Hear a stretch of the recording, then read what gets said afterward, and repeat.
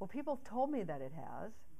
I think what happens is that I try to speak from my heart as well as from my head, that I try to engage and make it personal. And so I think some of the ways to do that in, in our culture, eye contact is pretty important.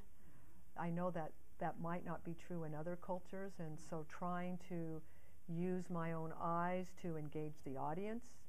You know, I use a lot of nonverbals. I try to keep them uh, meaningful instead of you know swinging your hands or moving around. And you know, sometimes speakers can become so distracting.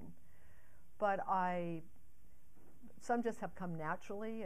So I will try to maybe make a point, and so I might do a reach out or I might want to bring you in. It's important for you to come and, and, and take part in this. I might try to, you know, I try to use voice inflection to make a point, to stress a point, instead of that monotone one voice, just keeping, don't break, don't really think about it. So how do you show excitement? How do you smile and, and again, bring people into the audience? I prefer to have those opportunities where I can have an exchange as opposed to me just giving a formal speech.